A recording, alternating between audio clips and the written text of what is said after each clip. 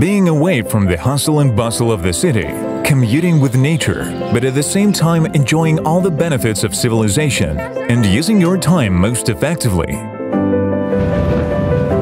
This is possible only by overcoming global problems of our time, such as overpopulation of cities, environmental pollution, historically outdated infrastructure.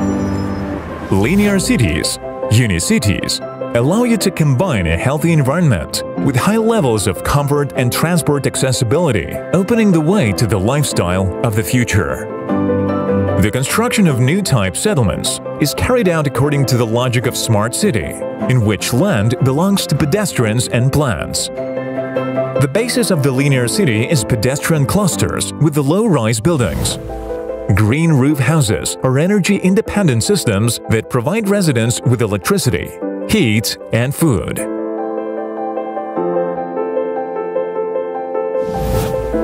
Each cluster is designed to comfortably accommodate up to 5,000 inhabitants on its territory and has one or several relic solar bioelectric power plants. Bioelectric power plants, along with the generation of energy, are capable of producing up to 50,000 tons of humus per year from coal and shale waste. These products are in great demand in the world and can become a key element in the development of the colossal export potential of Veni territory. A distinctive element of each linear cities cluster is a multi-purpose dominant building with a built-in station of the Unitsky String Technologies transport system. If necessary, these systems can connect the cluster with the city next to which it will be built and provide high transport accessibility as well as ensure integration into the existing infrastructure.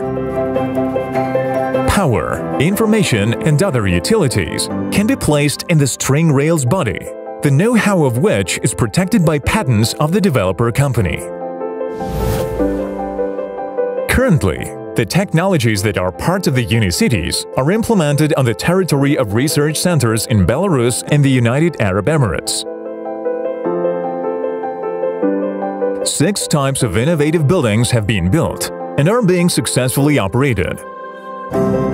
Six types of elevated communication overpasses and more than 10 fundamentally different models of passenger and cargo rolling stock have been erected.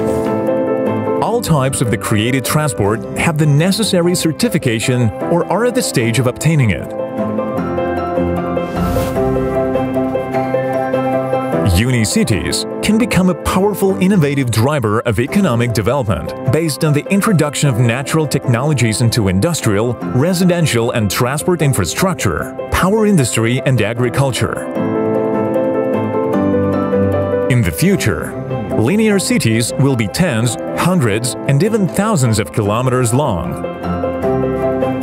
They will harmoniously fit into any existing natural landscape, preserve regional and global ecosystems, and allow efficient development of remote and inaccessible territories, setting a new standard of settlement that meets the challenges of the 21st century.